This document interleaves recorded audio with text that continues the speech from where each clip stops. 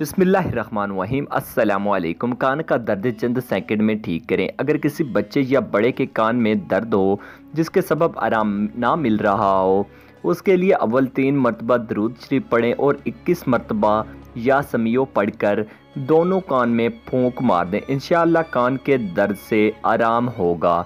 तो दोस्तों, आज की एक शॉर्ट सी वीडियो बनाई है। कैसी लगी है, अच्छी लगी हो लाइक कीजिए। इस चैनल को सब्सक्राइब करना मत भूलें, क्योंकि डेली बेसिस पे इस तरह की वीडियोस अपलोड करते हैं। शुक्रिया।